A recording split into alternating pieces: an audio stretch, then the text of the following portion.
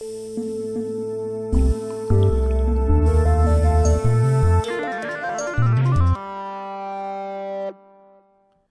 folks, uh, good day to you. VM Explorer here, and I just wanted to go through uh, a few tips and tricks I wanted to share with you around my recent pass for the VCAP DCV deploy for 2022. That's quite a bit, but let's take a look at it real quick here. Uh, this is actually the post that I put up uh, most recently, and uh, I did pass uh, this deploy test.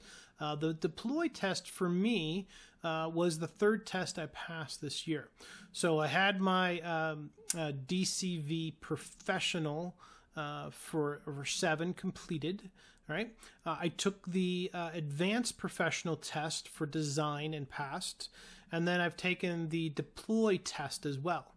Uh, and passed. Now that I've passed all three of these, uh, that entitles you for what they call the uh, VCI X badge. So complete these three, you get this VCIX, which is an implementation expert badge for data center virtualization. Uh, from there, then it qualifies you to apply for the design expert uh, if you so choose. And there's links here on all of these to uh, kind of go through that. Uh, but if you're looking for those links, you know, there's a lot of good information out here.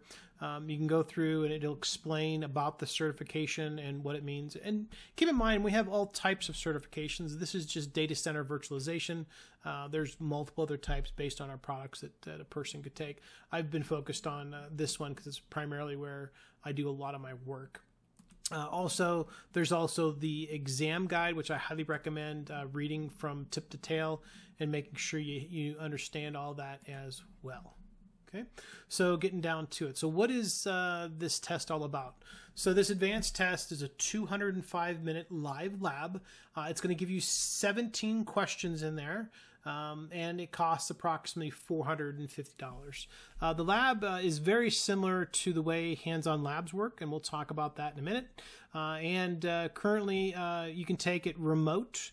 Via proctored, right, video proctored, or in person. Again, we'll talk more about that as well. Uh, in speaking with uh, uh, online proctor tips, some things to keep in mind. Uh, the, the process is pretty simple and convenient. You, you don't have to leave your home. You use your local system. you know, you have a camera going, and they watch you take a test, and you go through it. Other than that, the the test experience is exactly the same as going to a remote location. So, if it's convenient for you to take it at home, then do it. If not, then then go on site. And I, I, chose the online proctor exam, and, and, this might be new for some folks. So you want to make sure that you really get through those technical requirements and, and understand them really well. My technical requirements, if you look at this kind of link right here, you can see that uh, they have some system requirements, uh, test space requirements, etc. And they also have a nice white paper that kind of explains it. Take a few minutes to read through this if you're not familiar with online proctoring and uh, give it a go. Now, some of the things that they uh, that I found more interesting was is you know if you're familiar with this, right? Uh, only one monitor is allowed. So make sure if you're using a PC, you'll have one monitor hooked up.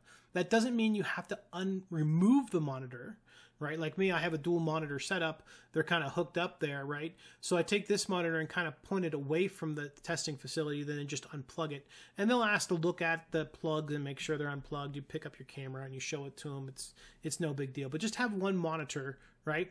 And a camera and audio video. No headphones. Don't forget that. You need to have an external speaker and a good microphone.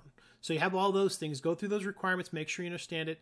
Um, keep your desktop very clear. You can't have anything around you. You know not even your your tape dispenser here right? Everything's got to be arm's length away and that's important. I have a really large desk.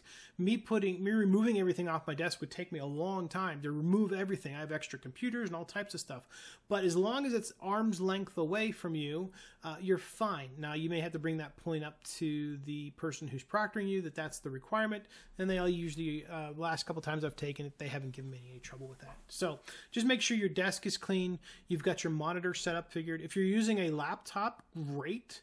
If you're using a laptop with an external monitor, you have to unplug it and turn it off, and it can't be facing you. Um, if you're using a laptop and you want to use the external monitor, then you've got to close your laptop fully. So be prepared for that because sometimes laptops like to go into hibernation. So make sure you can close that laptop up and it's not a big deal. You can still use your full screen monitor. Okay. Uh, another test uh, taking tip is I'd be very familiar with uh, VMware Hands-On Labs. Uh, this uh, particular environment is very similar to the way Hands-On Labs work. I would definitely recommend going in, taking some of the labs, uh, getting familiar with them. I took like every lab I could find, right? If there was a lab out there that kind of was related to uh, the topics, I was taking it and going through it, and it really helped a lot. It helped me also kind of get, you know, used to doing uh, things in it like cut and paste and, and all those types of things. All right. Um, and speaking of cut and paste, uh, get into the lab and really practice cut paste and drag. So like I've got text highlighted here. You can highlight text in the manual and drag it into the lab. But understanding that skill is an art, right? There's also send notes that's there as well. You can click that button and you can drag text or cut text and paste it there and then send it to the lab. Um, you can cut and paste inside the actual lab OS and how that works. So there's a couple different ways that you can, you know, massage text into the lab the key is is understanding how to do it and be proficient at it. Just understanding what cut and paste is not enough. It's understanding how to copy, drag, cut, paste, send data into the lab and be proficient at it that is key. And if you're able to master that skill, it will definitely help you on the lab. You'll be less frustrated because you're like, I just controlled C over here, but when I did control V over there, it doesn't work. And I'm trying to highlight this text, but I can't move it. And why is it? So just practice it. Make sure you got it under control. You'll save yourself time and frustration. All right. So the lab environment. When I started the lab, of course, I went through the proctor first, did all those things id and camera checks and audio video checks all that type of stuff moved some stuff around okay then the lab came up okay I should say, then the exam came up, the welcome screen, uh, and it was a good uh, page of text there. So I took time to read that all the way through and made sure I understood how to scale and all the passwords and, and everything else that I needed to do. Right, I was very, very, very much took some time to get that done, and that was helpful. And it didn't cost, it didn't cost me anything to do because it was all the clock hadn't started yet. But then the next screen, the clock did start when you start your exam. Okay, you're going to get a window that's going to come just like hands-on labs. It's no no trick, right? It's like hands-on labs. You get a window, your lab starts to build up, your menu pops up on the right. You can start reading through the the item. Now, uh, the questions that can be where um, some folks get hung up, and this is all about tasking yourself, right? So I call the questions the best way I say to describe them is they're multitasked questions, right? Because they're going to ask you to do multiple things, or they might ask you to do one thing, right? A question could take a long time, a question could be very short, right? So they're going to be all over the place. Some are multiple parts and they're lengthy, right? Some will have you do something right? And it's going to take a long time to do. So you can't sit there and watch it. You got to move forward, else you're going to run out of time. So time management and multitasking uh, is very important here. And you really got to plan and think that out. So if you're doing your um, uh, testing on your own or kind of preparing, right? You might think, well, let's. These are three things I know how to do.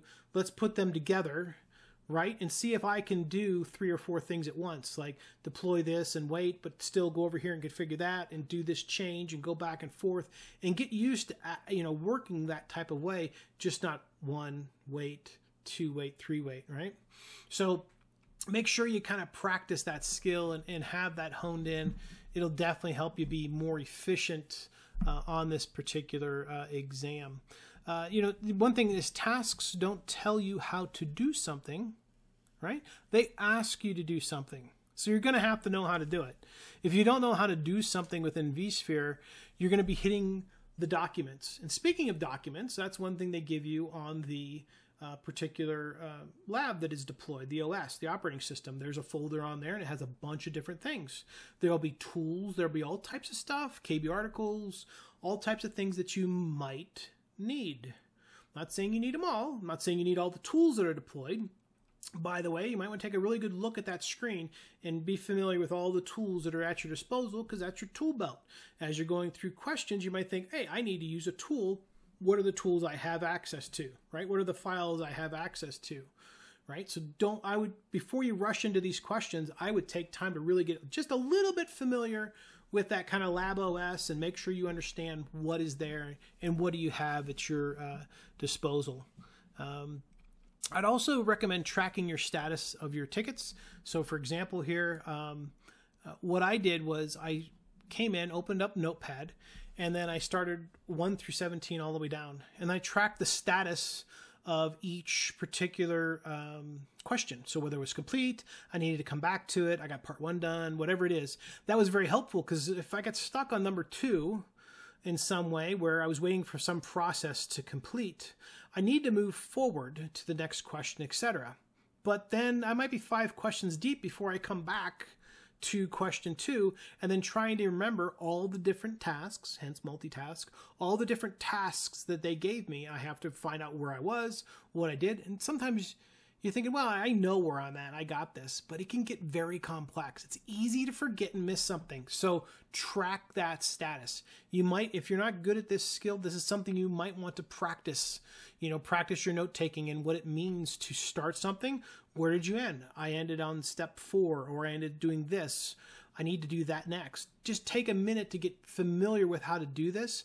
And I think this, more than anything, can really help you keep track of where you're going.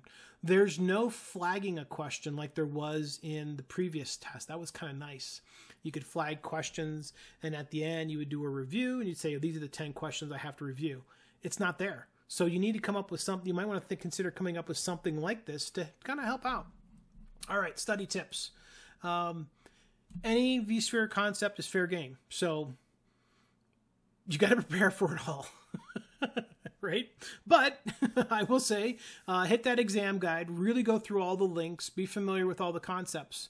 I'd really recommend looking at all the what's new stuff. So, what's new in vSphere? All those concepts, those PDFs, make sure you understand them. Hit YouTube, hit videos, hit the labs, go through all the what's new stuff and be familiar with what's new in the uh, in vSphere. Now, I'm not saying that it's just what's new stuff, but it's it's very helpful to make sure you're uh, well aware. Like for example, vMotion you're probably familiar with, and we've done that concept for a while. But there's a lot that has happened since vMotion, and what's new or what's latest is something you might not be with be as familiar with or haven't evolved your environment into yet, right? So that's what I'm saying. What's new is handy because these are skills that you might not have honed yet, whereas vMotion's been around for a while and you got that under control. So make sure you kind of review all those things, what's new, especially. Try the Odyssey Labs. Um, really great because they kind of put you under a gun as far as uh, a time is concerned. Um, you know, you're going to be timed to how fast you can do things. They task you. They don't tell you how to do things. So that's another good thing. You have to get it right to progress. Okay. Um, and then for me also, lastly, having a home lab was uh, very handy.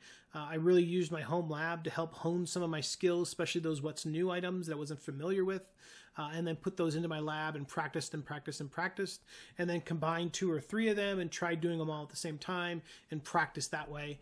And when I got to the exam, uh, I was really ready to kind of in uh, you know work with it, and I was well prepared you know? So folks uh, those are my tips. I, I hope these uh, help you prepare for uh, your exam. Uh, if you have any questions comments or maybe you've got some great tips of your own that i left out by all means uh, please share them up. Thank you so much. Have a good day. Bye bye